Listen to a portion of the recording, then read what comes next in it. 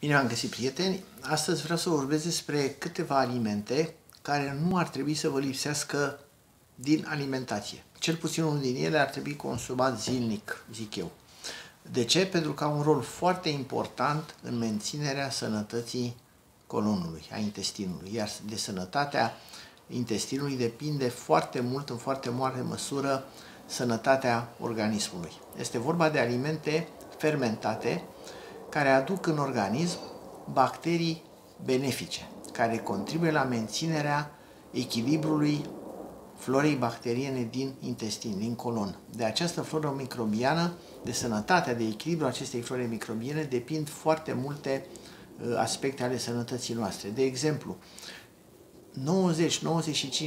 90-95% din uh, dopamină și serotonină se produc la nivelul colonului sub influența sub acțiunea florii microbiene, iar dopamina și serotonina sunt substanțe, sunt neuromediatori chimici care au un rol foarte important în menținerea stării de spirit, sunt antidepresive, deci este posibil ca un dezechilibru la nivelul florii microbiene să producă simptome specifice depresiei sau anxietății. Iată, deci, poate multă lume nu face legătura, Uh, are probleme la stomac, așa cum se zice în mod generic, deci probleme digestive și are și tristețe, are anxietate, ei bine, de aici poate, asta poate să fie cauza.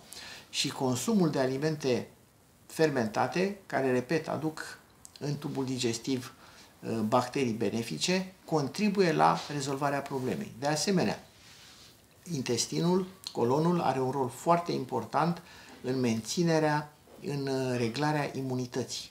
În situația în care mucoasa intestinală este inflamată, devine permeabilă, se absorbă în sistemul limfatic și în sistemul sanguin, în sânge, o serie de proteine care în mod normal n-au ce căuta acolo, organismul le detectează ca fiind uh, structuri non-self, cum se numește în limbaj medical, adică nu sunt proprii organismului și determină sinteza de anticorpi împotriva acestora. Pot să apară alergii, dar mai grav poate să pot să apară o serie de afecțiuni autoimune, deoarece unele din aceste proteine au structură similară cu proteine care se găsesc în diferite organe, iar anticorpii care sunt produși împotriva acestor proteine absorbite în sânge prin uh, permeabilitatea, prin leziune la nivel, de la nivelul mucoasei intestinale, produc acești, acești anti, anticorpi acționează și asupra structurilor proprii ale organismului, devenind astfel autoanticorpi. Astfel, de exemplu, apare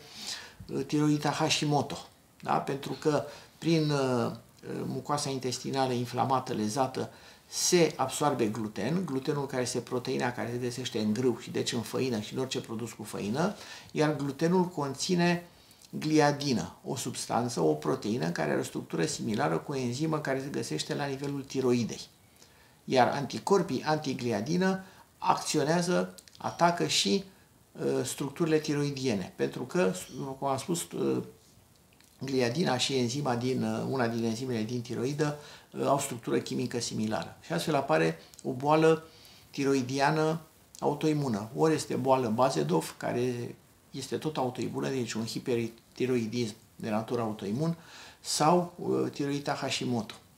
Iată deci o legătură strânsă între sănătatea florii microbiene intestinale și apariția unor boli autoimune. De aceea este important să menținem o, un echilibru corect al florei microbiene intestinale în uh, tratamentul exagerat, în abuzul de antibiotice poate să apară, pentru că antibioticele distrug atât bacteriile patogene cât și bacteriile uh, benefice. Nu fac uh, diferență între acestea și iar o scădere a florei microbiene intestinale benefice duce la apariția acestor leziuni de la nivelul mucoasei intestinale. Iată, deci, intestinul este foarte, foarte important pentru foarte multe aspecte care depind de, care, foarte multe aspecte de sănătate, ale sănătății.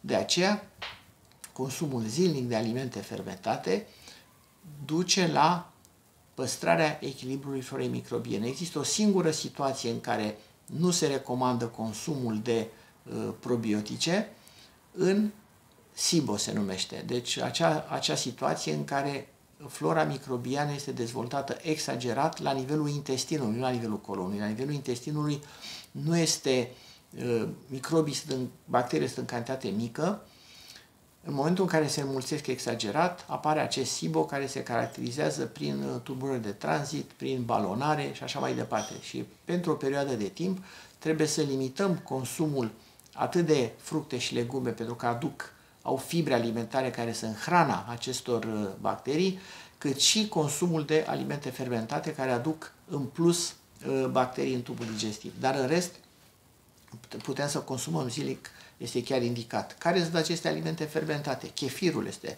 foarte bun.